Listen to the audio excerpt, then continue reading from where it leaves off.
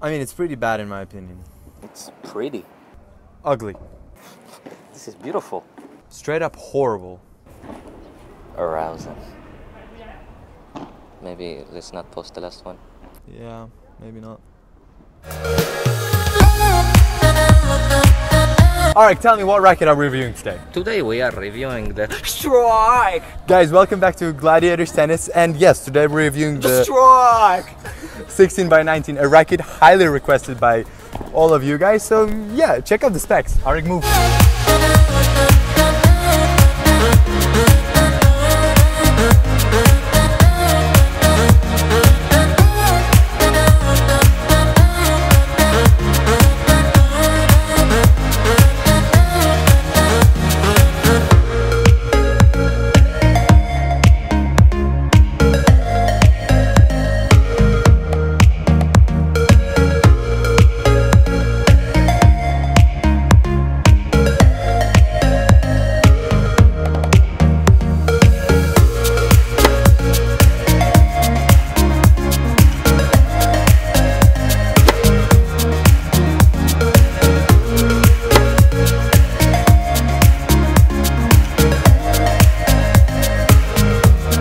Maestro. Yes. Babolat, your favorite brand? Yeah, you know what's funny? This might actually be the only racket in the whole Babolat lineup that properly fits my, my playing style. Hopefully it won't disappoint. Thank you. So yeah, the strike should have been the racket from Babolat that fits me best, but to be honest I didn't enjoy it that much. The thing is that when brands try to come up with a balanced racket, there's only two possible outcomes. Either they create something really outstanding and incredible, or the end product is a racket that pretty much sucks at everything. That sounded a bit rough, but I'll try to clarify what I mean. So usually the rackets tilted towards control have a small head and a tight string pattern, and rackets more focused on power and spin have larger heads and looser string patterns. In the case of the strike, we get a small head, but a 16 by 19 string pattern. As a result, you get an average control, not enough power or feel, no spin, okay, no spin. It doesn't spin the ball, no matter the string pattern. And listen, I know there are rackets on the market that nail it, the Ezone 98 for example, or my Gravity Pro, but strike, not so much. I don't really know why, but my flat forehands didn't feel secure. Understanding that, I decided to switch my gameplay into a more defensive one, but guess what? Spin was unachievable, and whenever I tried to play a deep ball with a lot of refs, my opponent could easily attack it. Backhands did feel a bit better. I was sometimes managing to play aggressive down the line shots, though cross-court rallies and quick short changes in direction resulted being pretty complicated. That is obviously due to the lack of spin that I was talking about. Even though my backhands are pretty flat, especially compared to my forehand, to properly open up the court, I still need to flick the wrist, and the racket wasn't helping it. I did a few slices, though I'm not gonna get into it because who cares about slices. Game of the net was the most disappointing part of the playtest. The racket is 98 inch and yeah, sweet spot should be small. But I've played with rackets with smaller heads and they felt better. I often created a perfect opportunity with my ground strokes to finish the point at the volley, but couldn't quite do it because I wasn't hitting it in dead center and apparently volleying isn't achievable if you're not Federer with this racket.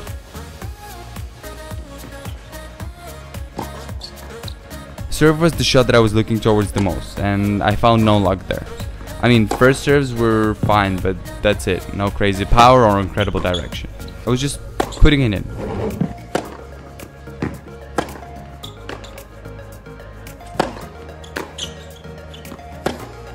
The second serves were straight up bad. As you might have guessed, a racket that has a low potential for spin isn't going to offer much in the top and second serves department.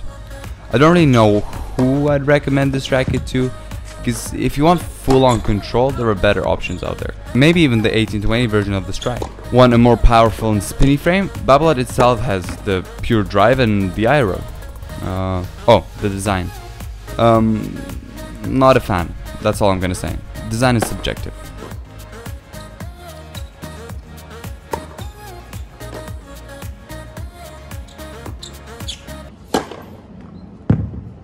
Niki, Niki, Niki, Niki, catch. Oh ja, das ist Dominic Thiem Racket.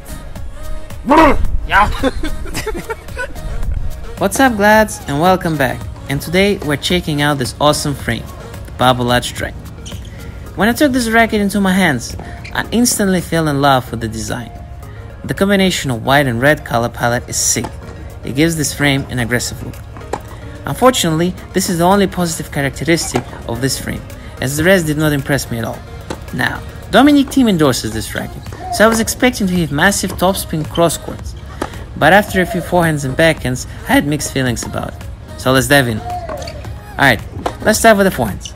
Honestly, I don't understand how Thiem can generate so much topspin with this frame. My shots felt very dull and dry. I wasn't able to generate as much spin as I'm used to, and my balls were flying very flat and slow. There were moments where I couldn't get the ball deeper than the service line. Fortunately, as the playtest went on, I shifted my game style to a more flat forehand shot, and I started to come forward more often. This is the game style that this racket is good for.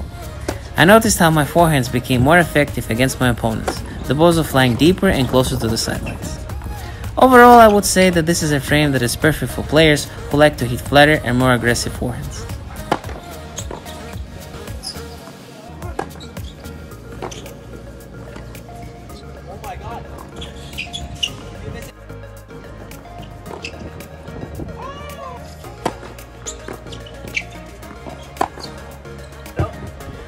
On the backhand side, it was a different story. From the first ball, I was pleased with the feeling that this frame provided. The shots felt very natural and it was easy to control the ball. I could generate so much power that I was able to hit winners from any point on the court. Also, the defensive shots were spectacular, as I was able to place them in such a way that my opponents wouldn't be able to attack again.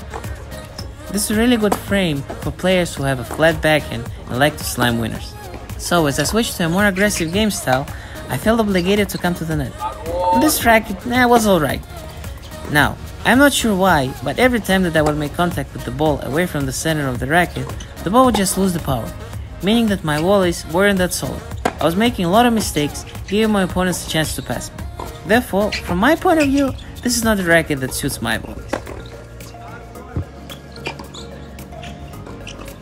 Okay, so let's shoot back to the baseline and talk about the serves. The strike gave me a lot of power for my second serves.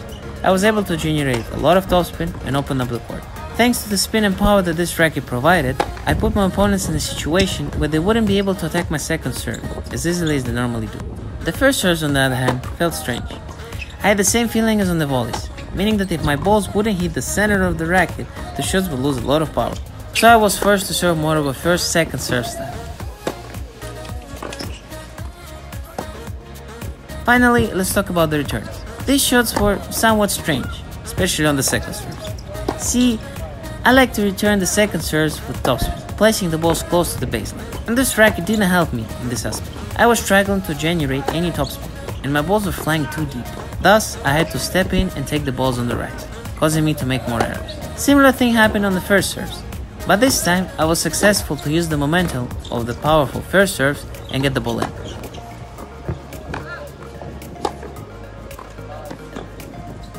Overall, this is a frame that is best for aggressive players, especially for the ones who like to hit flat, strong balls. Now, if you're a player like me, who likes to hit the balls with more topspin, then this is not the best choice, and you should look for something more powerful.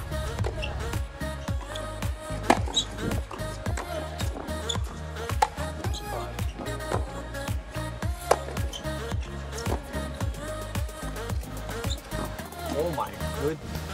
Guys, if you like the pure strike, the way it looks and the way it plays, and if you've enjoyed the review, Subscribe. And if you don't like the racket, subscribe so you see some other rackets like this video. makes sense, right? Logic. There you go. Aregi! Wepa! Another one-handed backhand racket. Why you say it to me, man? I'm fantastically loyal to my 200 backhands. Fantastically loyal. Only 200. As loyal as you are to your girlfriend. Yes, that's why I don't have it anymore. Let's go. Apparently, Babolat thinks that to be fresh looking and trendy, they need to hire designers, but only once in 20 years. Don't get me wrong, I consider that the combination of the colors and shapes are perfectly put together. It's just that the design language of Babolat in general uh, is older than uh, Federer. Uh, by the way, happy late birthday, Roger, and you're welcome for calling you old. Think that Roger actually watches our videos, huh? Every day, man. Every day. Moving on, the head size of 98 inches is nicely filled with the 16 by 19 string pattern. which provides that supreme power to control ratio that we all look for in a racket. My game in general is based on my, uh, you know, unlimited variation of shots, and indeed, when trying to play the way I enjoy, this racket was a good companion. For example, it cuts through the air easily so you can be nippy and fast on the net. I can't say too many positive stuff about the backhand, as I didn't feel the freedom of risking with those shots.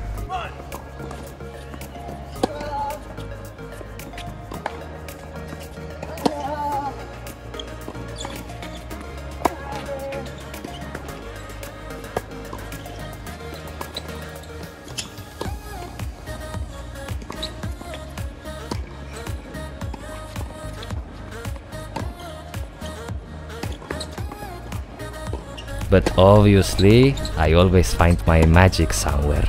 And this time it was on the forehand. Simply powerful, precise and pleasant. I could spin from the baseline and also hit fast shots when entering the court. When serving, I was suffering to hit slicers, but it was fine because my opponent was suffering even more with my flat serves. Second serves felt secure as well, you can really feel that spinning isn't a big deal with the babolat. But returning was just a pleasure. Grisha got insecure about his serves because I was returning them like if he was a 12 year old.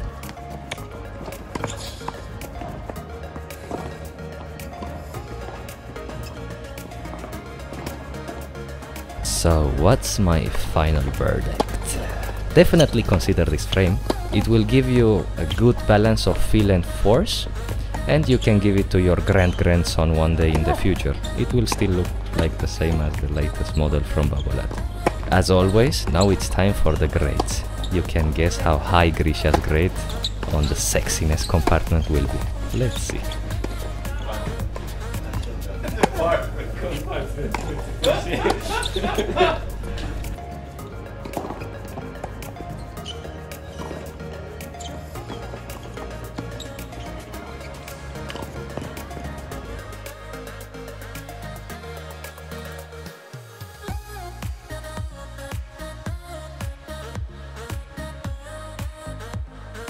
So guys, like pretty much always, we've used uh, Luxilon Adrenaline 130 and we've strung it at, guess what, 25 kilograms, which is this much in pounds. She fits my playstyle. So yeah.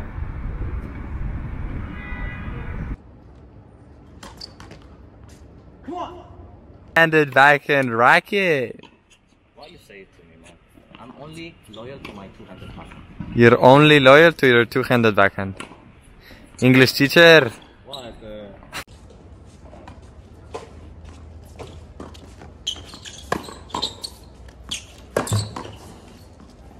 Arugi! Another one-handed uh, have it ahead of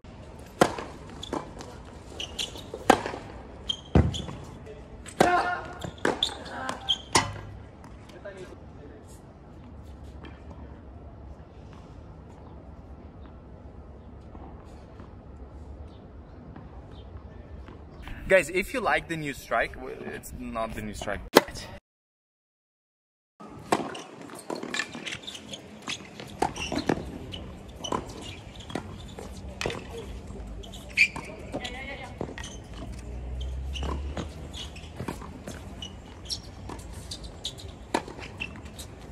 Another one-handed backhand racket. Why you say it to me, man? I'm very loyal to my insurance.